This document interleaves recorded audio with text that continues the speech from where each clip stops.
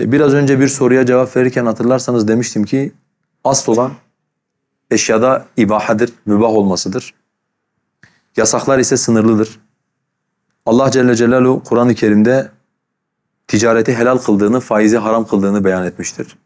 وَاَحَلَّ اللّٰهُ الْبَيْعَ وَحَرَّمَ الرِّبَى Allah alışverişi helal, faizi haram kıldı. İslam'ın yasakladığı şeyler olmadığı müddetçe bütün alışverişlerde asıl olan mübah olmasıdır.